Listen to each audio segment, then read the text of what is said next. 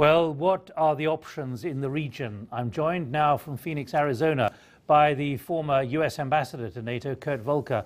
Kurt Volker, Article 5 uh, was invoked yesterday, and there was a NATO meeting after this attack by Syrian troops on southern Turkey. How close did it get to moving to something much, uh, much more than this?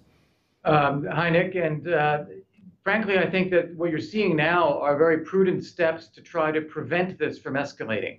Uh, what happened, I think, was an unintended cross-border attack by Syria. I think Turkey felt obliged to respond to that in order to show that it takes this incident very seriously. But I don't think either Turkey or others in NATO believe that Syria intended to attack Turkey. And I think that by A, Turkey's response, and B, ensuring that NATO demonstrates its resolve to protect Turkey, it creates a very strong wall around Turkish territory and in aiming to make sure that this conflict doesn't escalate into an international conflict.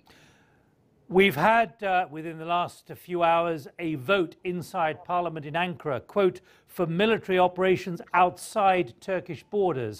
Is that a threat or rather a pragmatic positioning of Turkey were it to be necessary?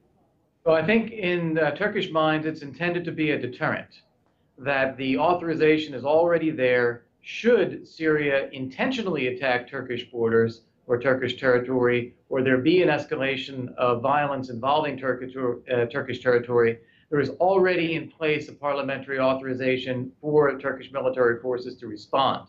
With that in place, hopefully that deters that kind of activity and de escalates the situation. Of course, one of the major problems is that essentially Damascus and Ankara are not speaking to each other. They communicate through third parties. What is the potential, therefore, for some gross error of misunderstanding now? Well, I think that the risks in this situation are enormous, and I think they go all the way back to the failure of the international community uh, to do anything about the ongoing violence inside Syria. Uh, that, that we've all said that Assad should go. We've seen 25,000 Syrians killed already and yet uh, very little has been done from outside and the conflict rages on. In that circumstance, where the regime there is fighting against its own people for its own survival, there is tremendous risk of accidents, escalations, miscalculations. And so that is why it's so important that NATO and Turkey have at least taken these steps to try to de escalate any international conflict. I would like to see us move on to figure out what actually to do about the situation in Syria itself but I'm afraid that's not on, any, on anyone's agenda at the moment. But quickly, finally, uh, you are a diplomat. You were there sitting in Brussels. This surely is about confidence building measures. Are there any reasons for confidence at the moment?